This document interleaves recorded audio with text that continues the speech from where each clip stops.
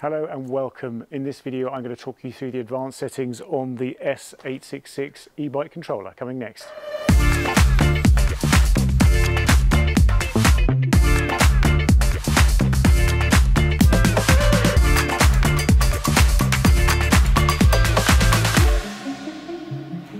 As with most controllers, to turn it on you push and hold the power button.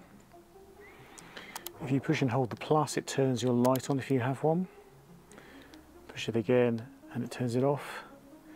If you want to um, walk with your bike, if you push and hold the negative button here, it goes into walking mode and to cancel it you just use the brakes.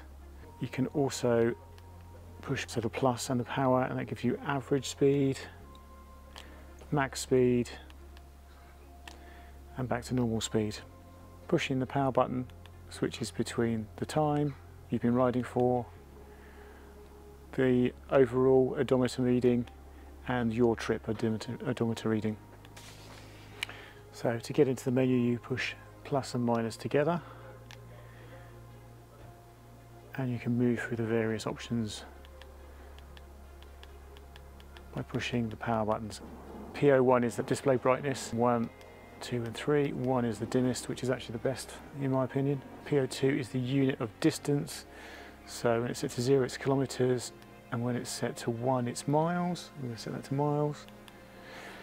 PO3 is the voltage level. We're set to 36 volts. You can also select 24, 48, 60 or 64.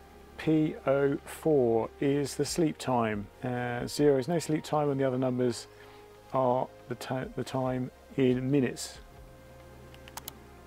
So PO5 is the number of levels of assist.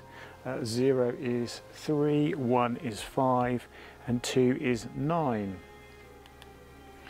P06 is the wheel diameter in inches and our wheels are 20 inch. P07 is the number of speed measuring magnets uh, and ours is set to 1.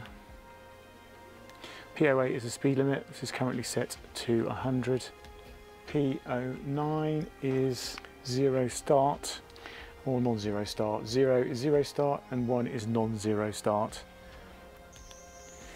P10 is drive mode. So zero is pedal assist, one is throttle and two is pedal assist and throttle. 11 is boost sensitivity and we're currently set at 6. So P12 is the setting uh, for the power assisted start strength and that goes from 0 to 5. P13 are three types of power assisted magnetic steel discs, 5, 8 and 12 magnets. P14 is the maximum power, uh, it's the power limit, uh, it's at 15 amps.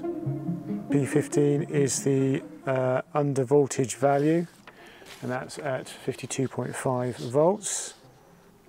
Okay, so P16, if you want to uh, reset the odometer, you do a long press on the up button. Hopefully you found this video useful. If you have, please do give me a thumbs up. If you'd like to see more videos like this, subscribe, hit that notification bell. And if you'd like to say thank you, please do feel free to buy me a coffee. The link is in the description, along with a few other affiliate links, including money off a Wren Kitchen and uh, Energy. Thanks for watching. I will see you in the next video. Take care.